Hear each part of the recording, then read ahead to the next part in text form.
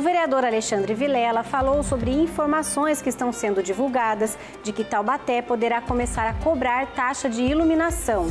Ele explicou o assunto na sessão do dia 19.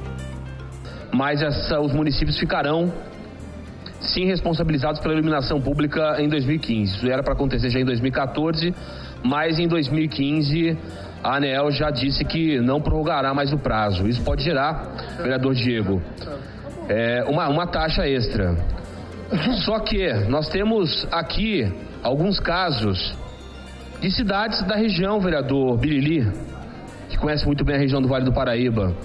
São José dos Campos, Jacareí, Caçapava, né, que a prefeitura pegou esse valor para que ela mesmo é, fizesse esse, esse pagamento para que ela prestasse serviço, mas não que repassasse sua população. Talvez o projeto que a prefeitura mande essa casa também venha dessa maneira. Esperamos que venha dessa maneira. Alexandre Vilela chamou atenção para a falta de segurança no entorno de faculdades e também na Praça Santa Terezinha. As portas das faculdades hoje vivem um verdadeiro caos.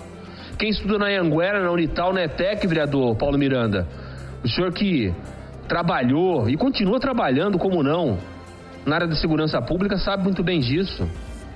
Não é só na parte interna, mas nas, na parte externa. Agora o que está acontecendo na Praça Santa Terezinha é o concurso. É o concurso.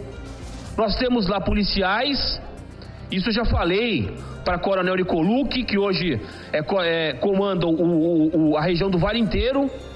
O que está acontecendo na Santa Terezinha realmente é uma inversão de valores.